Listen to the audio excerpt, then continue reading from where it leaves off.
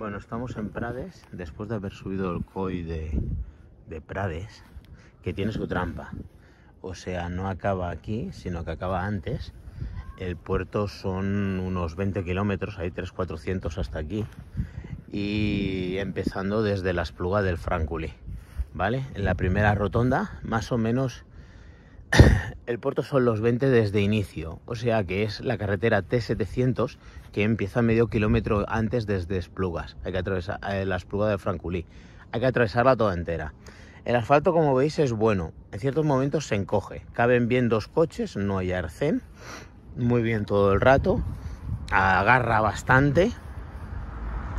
Y... Y bueno, y en principio muy bien asfaltado. Fauna y flora, es descubierto el puerto. Lo que pasa que a medida que pasamos los kilómetros, sobre todo a partir del 6, ya empezamos a ver árboles de más de 5 y 6 metros y la carretera se adentra en la montaña haciendo S constantes. Todo el rato es una pachanga entre comillas, al 1, al 2, al 3% como mucho, alguna zona, algún kilómetro al 5 o al 4, pero lo que tiene son desniveles como por ejemplo en el kilómetro 2 hay uno, en el antes del 6 hay otro, repechones al 10% y luego llanea. Con lo cual eso nos hace el desnivel de, de medias del 3 y del 6, pero es llanear incluso en el 6 hay bajada para luego tener una pendiente del 7 o el 8% al final del kilómetro cuando llegamos al mojón 7 que compensa y supera la bajada inicial que hay en el mojón 6. ¿Qué más? Eh, fauna. Me he encontrado un ciervo que, pequeño que ha cruzado la carretera, porque es un parque natural, del Parque Natural de Poblet. Em, en principio debe haber todo tipo de especies, pero es lo único que me he encontrado a esta hora, última hora de la tarde de hoy, 11 de octubre del 2023. ¿Qué más? Lo comentado, eh, huele mucho aroma a pino en las últimas kilómetros, hay mucho pino.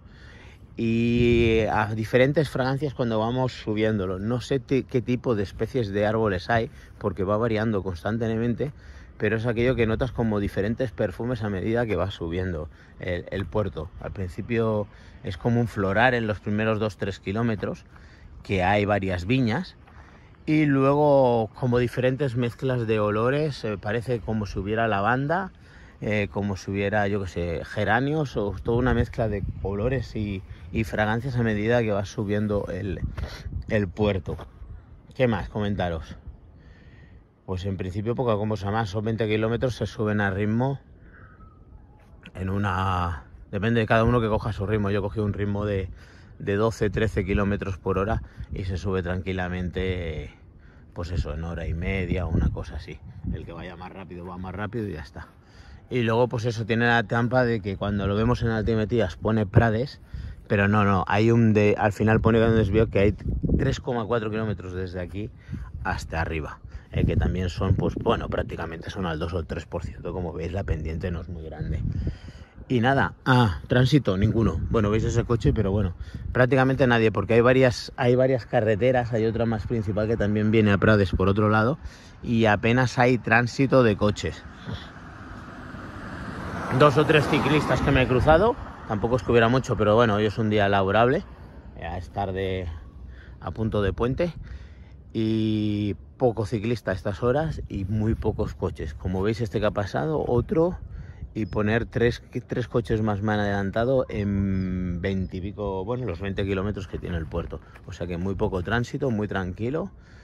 Eh, y bueno, para empezar puertos, pues es bueno porque, porque las pendientes que tiene no son muy duras. Solo hay esos dos tramos que os digo. También en el 10, en el 10 con 20, que sería el mojón 10-700 más o menos, porque he empezado medio kilómetro después, empezar la rotonda de, Espluga, no en el kilómetro cero.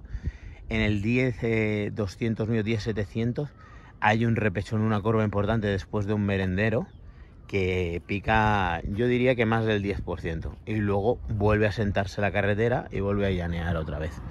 Y en principio esto es todo desde Prades. Ahora iré a la cima, porque es eso, he querido llegar hasta el final porque no había ningún letrero de cómo se llama alcohol. Ahora volveré a pasarme y a observar exactamente en la zona más alta eh, qué es lo que hay. Bueno, lo comentado es de Prades. Mojón 20, se acaba la pendiente por un lado y empieza por el otro. Como veis, dos coches que van justitos y va autocaravana, el otro es ancho, tururú. Poca circulación, los que os he comentado. Aquí es el cambio, justamente aquí. El cambio de, peralte de altura. O sea, se acaba. Pero no pone ni col de la mola, ni collada, ni nada, sino el mojón 20.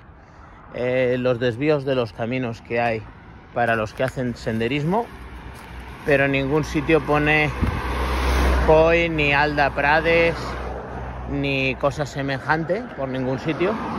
Ahora parece que hay tránsito, pero bueno, no habían coches apenas. Lo que estáis viendo ahora es todo lo que me ha pasado en 20 kilómetros, en 23, porque he llegado hasta el pueblo.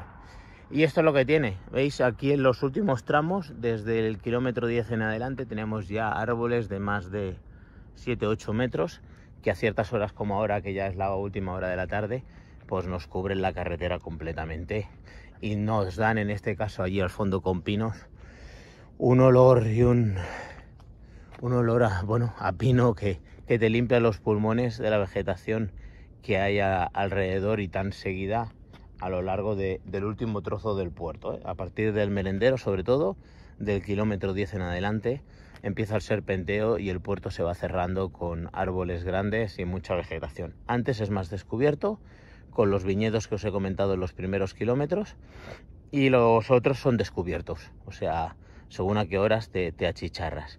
Ya habéis visto, caben dos coches, no caben dos autocares, no hay arcén, están marcadas bien todas las líneas, está muy bien la carretera. El poco tránsito es porque hay otras carreteras principales que te llevan a Prades mejor que esta. Hay dos alternativas a esta carretera. No sé si esta es la antigua, la T700, como podéis ver. Que si la inicias de las plugas es un caso extraño cuando llegáis al kilómetro 3 o dos y medio. Yo he empezado lo que he comentado, he empezado con medio kilómetro, he empezado de la primera rotonda de la entrada de Esplugas. En el dos y medio hay un mosaico muy bonito para hacer ahí una foto, que a lo mejor os la pongo luego al final si me acuerdo eh, donde tiene pues el mosaico con el desvío a Pueblet, al monasterio de Pueblet. Y esa carretera creo que es la 720, si mal no me equivoco, o 702, algo así. Y hay un trocito y luego sigue la 700 por encima. Es como si la hubieran cortado y la hubieran desplazado unos 200 metros más para arriba.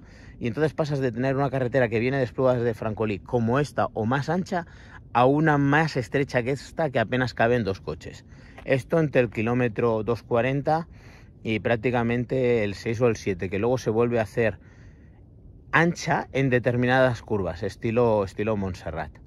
Y luego, bueno, pues se vuelve a estrechar y a partir os diría que de antes del 9 o del 8 ya vuelve a ser un ancho razonable donde dos coches pasan bien. Es una carretera, bueno, pendiente es mucho más sencilla, me recuerda obviamente a puertos largos y no duros, no comparable con Sierra Nevada, porque por ejemplo son la altura sin comparar y Sierra Nevada son 40 kilómetros por la autovía con poca pendiente entre el 4 y el 5, pero son 40 kilómetros, no como aquí que son 20, o sea, es el doble. Y así cercano que se parezca, pero también salvando las distancias, porque aquí no hay altura, aquí apenas habrán, pues si hemos subido 20 kilómetros al 2%, una cosa, apenas hay 500, 500 metros de desnivel sí, una cosa así. 500, una poca cosa así, o 490, una cosa así. Y comparable, bueno, a nivel de longitud no, porque son 20. La cubilla en Asturias tiene 27 y hay muchos trozos a 5. Aquí solo hay 2 kilómetros que sí que cogen el, 6 o el, o el 7 y, y, poca cosa más. El resto es pachanga, tiene sus respechones, pero como veis luego es llano. Entonces no es comparable. Esto es un, un puerto ideal para principiantes por el tránsito y por la pendiente y por coger distancias y hacer kilómetros, hacer de una tongada 40 y luego pues empalmar con otro puertecillo de la zona como calentamiento previo a este puerto. Y eso es todo desde la cima del alto de Prades subido por la espuga del Franculí.